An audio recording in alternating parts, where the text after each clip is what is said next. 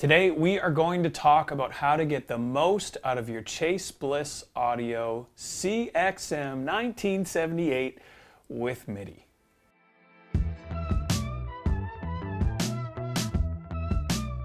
I promise you the long name is worth it. This pedal is incredible. I've been having so much fun with it today and I wanted to just make a quick video just to show you what I've been up to messing around with different MIDI settings and options. This pedal really does lend itself to the creative player, someone who wants to get a bunch of different sounds, manipulate them as they're actually playing live, and you can do this over MIDI with an expression pedal, you name it, it can be done. So today we are going to get into some presets, some hold functions, expression, and show you how you can make the most out of this pedal with your MIDI controller. But first, let's quickly show you how to change the MIDI channel on the pedal, and then uh, we'll do this also with the PBC, which is the MIDI controller for today.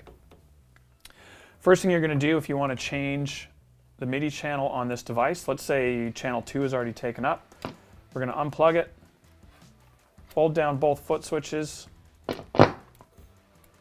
plug it back in and release those foot switches. We are then going to go to our RJM devices. We're to set up generic. As you can see, I've already set this up. As of today, the RJM computer programmer for the actual PBC, the MIDI controller, does not have the CXM 1978 uh, installed. I'm sure that it will very soon because uh, Ron and Sherry at RJM are great at staying up to date with new pedals. Um, but this one, what we're going to do is show you how to do this if you don't have the settings already programmed by RJM. We're going to pick generic PCCC device. I just named it 1978 so I know what pedal. I want to set it to MIDI channel 4 and now what we can do is write those changes and by default these presets in the RJM are already set up. Preset 1 is going to send PC number 0 preset 2, PC number 1, so on and so forth. The 1978 requires you to send a PC message or a program change on the channel that you want it to be set at. So we are already in the programming mode here on the 1978 for the MIDI channel. It's waiting to receive something. So what we're going to do is go over to our PBC. We're just going to press uh, preset number two because that's the next one that's not used and we are going to do that and now our MIDI channel should be set to channel 4. Now that the device is set up we can start having some fun with this pedal. As you can already see presets are working so if we go back to the PBC we can do preset one, two, three, and so on. If you have preset 1 and you want to make a few tweaks you can do that and then make that save on the pedal itself and it will recall those changes every time you go to preset number 1 but there's so much more that is available on this pedal. And so we want to access some of that today.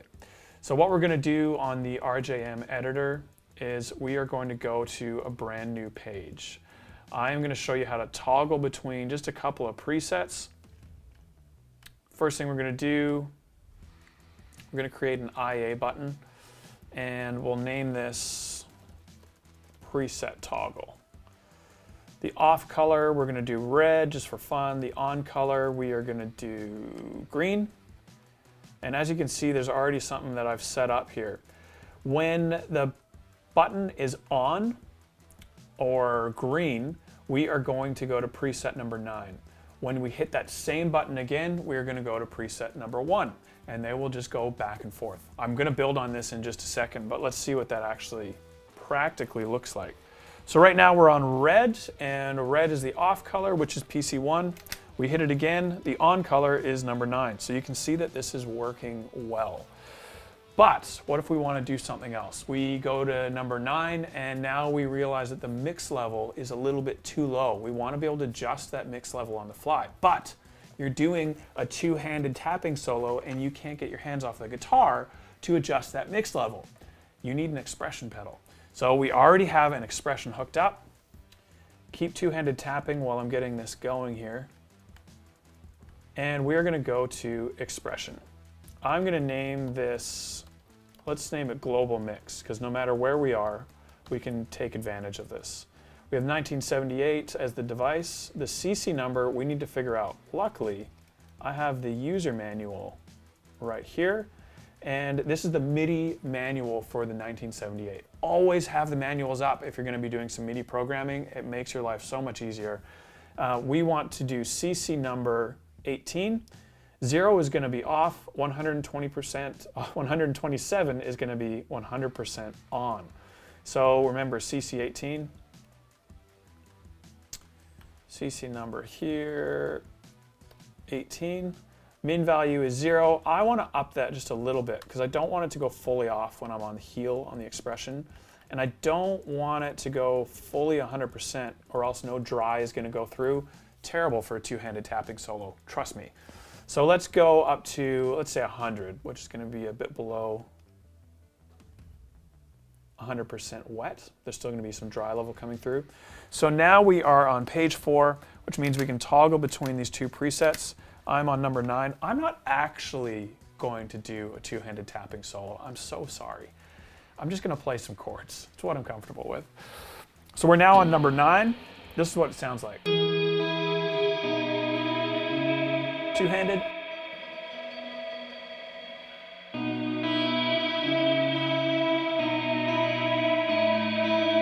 Now we're going to get into that expression.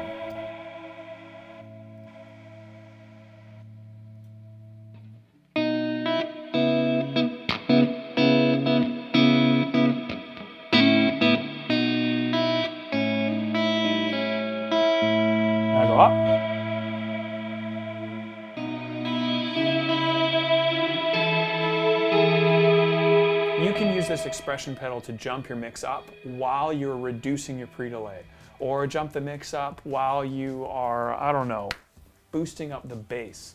You can do all sorts of things with this approach. But what if you want to access a really cool, crazy sound momentarily, let go, and then the settings go back to another value that you've decided? We can do that with a momentary CC.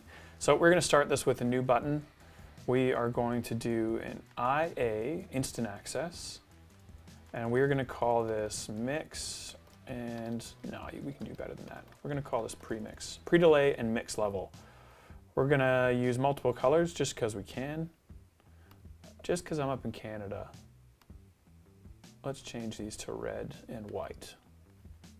Sorry America we can only pick two colors. Can't do red white and blue right now but I got close we're going to do this as a momentary, a CC momentary button. We want to control mix, which is CC18. When we let go, or the off value, we want it to jump to half. That's just what we're going to do right now. When it's on or we're holding the button, we want it to jump up to 127.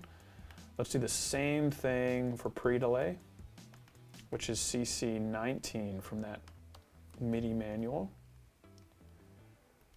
Let's see what happens. So we have our toggle. That goes back and forth between multiple presets. We have our expression, which controls the mix level.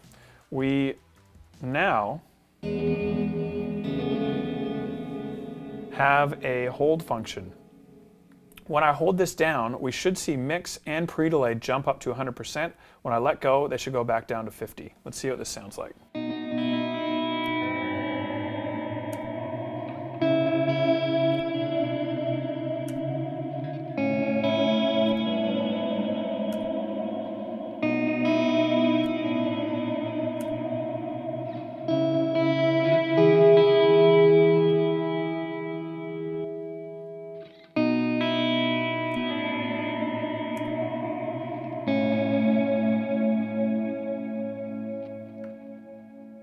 There you have it. You have the momentary function, expression, and toggling through different presets. You can do all of this within the preset editor as well, but I just wanted to show you on a separate page.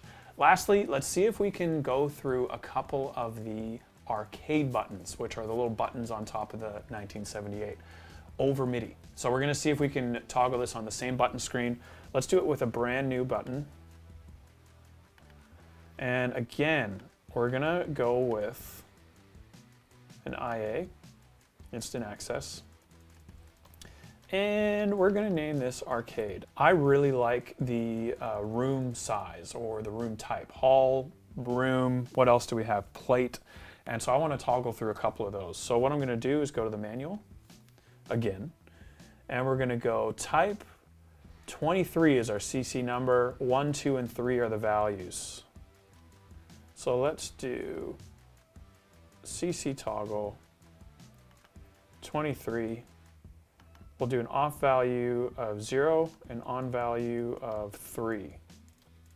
Sorry, on value. Okay, it's 1, 2, and 3.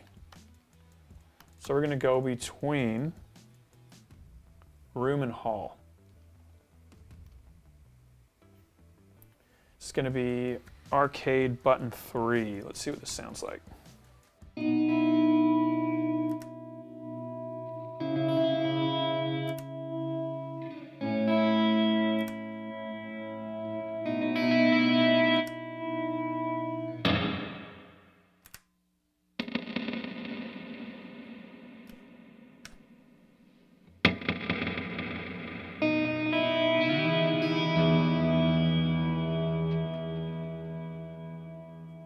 There you have it. We've been through toggling through presets, instant access to a couple of different presets, expression, momentary switches, and accessing those arcade buttons. There's so much you can do with this. Most of what I've done today as well, you can do all at the same time with a push of a single button. I just wanted to break it down and make it a little bit more accessible. As you can see, there is so much you can do with these units over MIDI or just by themselves. They have tons of sounds inside and you just need to learn how to access them and manipulate them to the sounds that you hear in your head. If you have any questions, put them below. If you want the file that I created today in the RJM computer programmer, Comment below, give me the file, and I'll send you a link to download it. Any other suggestions or things you guys want to see, let us know. If not, we'll see you next week for another video on the Goodwood Audio YouTube channel.